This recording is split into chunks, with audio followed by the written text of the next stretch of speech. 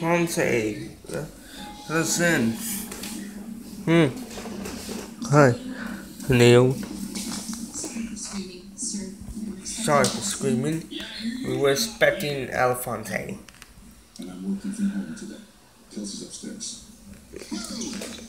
Shoes, jackets. You're soaking wet. Yes, sir. Hmm.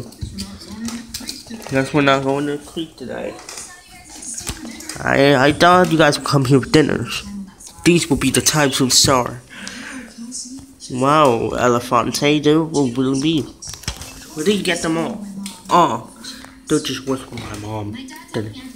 My dad taught me all protection. Still, you got no favorite. There. Sacred night. Dad, you okay?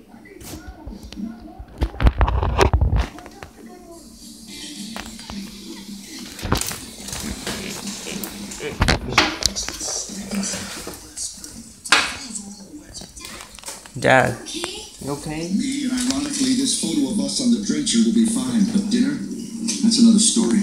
Take a knee. Kelsey, my brave knight. I have to fix this crack in Almighty Castle's drywall.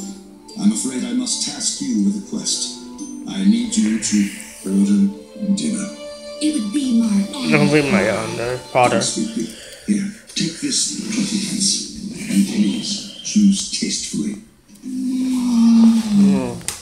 know you three can handle the task. I will not fail. I will not fail you, father. Wait, so your dad wants to order dinner? So you're actually gonna order dinner? We're kids. I mean, you're just a kid. Oh. We're big already. We're like adults. Yeah, Jenny's, Tom, and Tenements. The old, the state metro. Don't know how much it'll be. But John, dude. nah, no.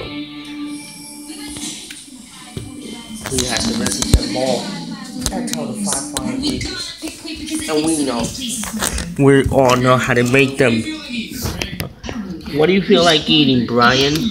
I don't even care. That's just a read. Nah, too crazy. Uh, why do you not Ingo on the same?